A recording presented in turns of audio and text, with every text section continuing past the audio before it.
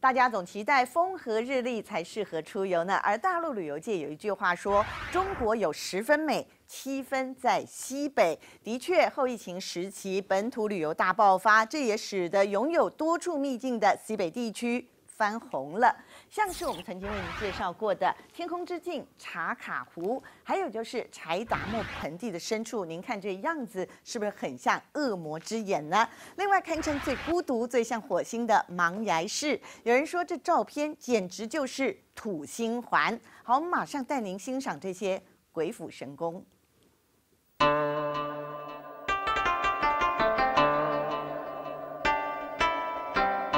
北风夹带着风沙，刮蚀着戈壁，寸草不生的荒原，孤绝的雅丹地貌。这里是青海省海西蒙古族藏族自治区的芒崖市，也被称为最孤独、最像火星的小镇。而在荒漠上，真的出现一座火星基地，吸引大陆的央视记者前去探险。我们现在迷失在了荒漠里，因为没有信号，所以导航没有办法导路。我们下去看一看。离开了小镇，风景越来越荒凉，最后甚至连手机也没了讯号，迷失在荒漠里。看中间这个黑色的，一直往前延伸的，像是一条路，但是不确定前面是不是我们要去的地方。那只能是往前走着试试看吧。循着留在荒地上的车印，记者持续往前行进。地平线好像无尽延伸，看不到尽头。终于看到一丝希望。你是那个营地的负责人是吗？啊，是的，就在那个，你说这吧，我我车调一下头，我带你们呃到营地，好吧？在工作人员的带领下，抵达火星营地。在我身后的就是火星营地的太空舱，让我们一起进去体验一下，来到火星是什么样的感觉？放到这上面是吧？放在识别区。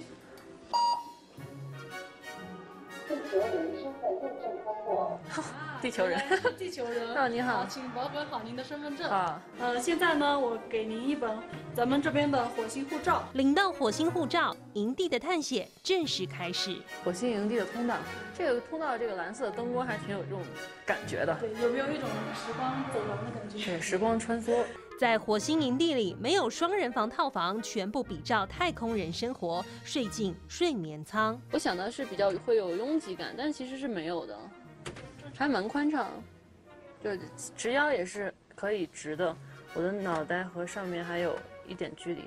我的身高是一米六六。探索完火星基地，室外也能来场火星冒险。我们现在就穿好了宇航服，准备去探索火星地表。走。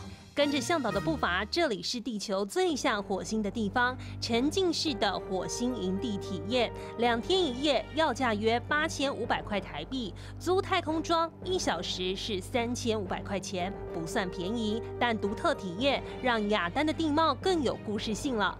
在同一自治州的柴达木盆地，还有一处恶魔之眼。在我右边的就是艾肯泉了，可以看到它是在草原湿地当中的一汪泉水。但是不知道为什么，在它的旁边确实是没有任何的植被生长的。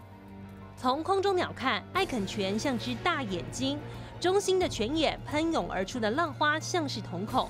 不过泉水的四周寸草不生，被当地人说是恶魔的眼睛。原来艾肯泉是从地下涌上来的泉水，并且携带了硫、铜、铁、钙等化学元素。当泉水涌上来的时候，跟地表的土壤发生了氧化作用。红褐色、金黄色的土壤富含矿物质，不适合植物生长。但据说也是因为泉水富含矿物质，有药用的价值，等待当地人开发利用。而早就被开发闻名世界的天空之镜，也在青海。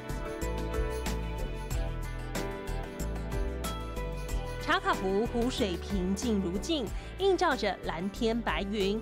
由于湖水富含钠盐，盐层较厚，贴近湖面，被中国国家地理评选为一生必去的五十五个地方之一。最适合旅游的季节是夏季的七八月份，无风的艳阳天，湖水反射的效果最好。它这个底下全都是盐，是吧？对，这些都是我们的盐。我发现它的脚感很好。对，特别的舒服。对，有种踩在雪地上的感觉。对，白天有茶卡湖的美景，在深入柴达木盆地大柴旦地区，还有一处秘境翡翠湖。我们现在起飞，好像是被绿翡翠镶嵌在大地上。这是大柴旦化工厂盐湖采矿区。面积六平方公里，目前已经废弃，成为还没被开发的旅游处女地，还保留着矿区的原始风貌，而且可以搭上透明的小船，在盐湖上荡漾。是一处类似于茶卡天空之境，但是却有不同的风情。而到了晚上，还有浩瀚的银河等着你。现在呀，马上就要到大柴旦的星空营地了。它是一个藏在沙漠和戈壁滩中的星空营地。照片当中的星空营地可以清晰看到银河繁星，令人向往。而特别的是，不用露宿荒野，在这儿有酷似蒙古包的帐篷，躺着就能看星星。里面可以容纳几个人来住宿呢？咱们这儿的话，通常就是容纳两个人。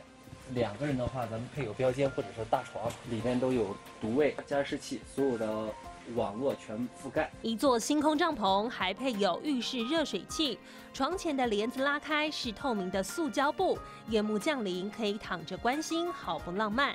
而一样看好星空商机的，还有宁夏省中卫市的腾格里沙漠边缘，也有一座观星酒店。